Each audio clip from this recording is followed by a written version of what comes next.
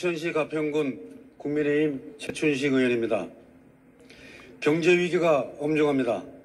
에너지 고물가와 전 세계적인 금리 인상, 침체된 산업 등으로 본 세계적인 경제 위기를 겪고 있습니다. 절대 거기서 나오지 말았어야지. 나오면 내가 죽인다는 거 몰랐어? 세상에 나와서 알리고 싶었어. 네가 어떤 사람인지. 나 내가 어떤 사람인데?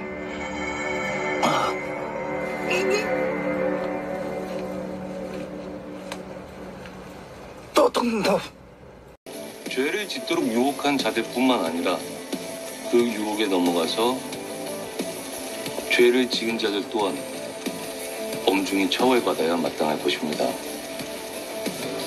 국민 여러분, 지켜봐 주십시오. 감사합니다.